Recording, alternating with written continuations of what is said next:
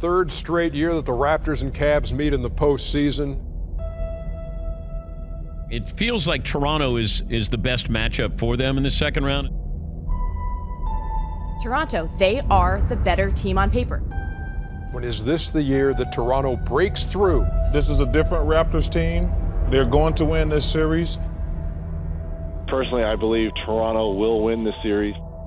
He comes into this series kind of needing a miracle to beat the Raptors. No home court advantage for Cleveland this round. Toronto is the number one seed. Even his greatness will not be able to drag this team past the Raptors. In time, you will know what it's like to lose. To feel so desperately that you're right, yet to fail all the same. He gutted the Raptors here tonight. Dread it. Run from it. Destiny still arrives.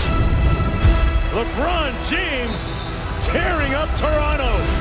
One of the greatest performances of his career. His efficiency is off the chart, passing, playmaking, and dictating tempo. LeBron James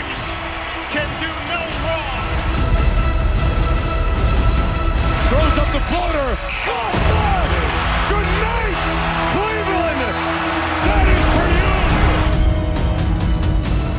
Fun isn't something one considers when balancing the universe. Ah, oh, nifty But this does put a smile on my face. There is a palpable air of dismay and discontent here in the building.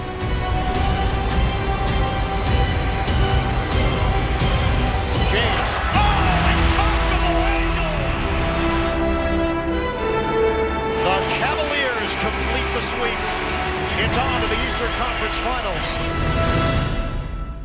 Tell me his name again.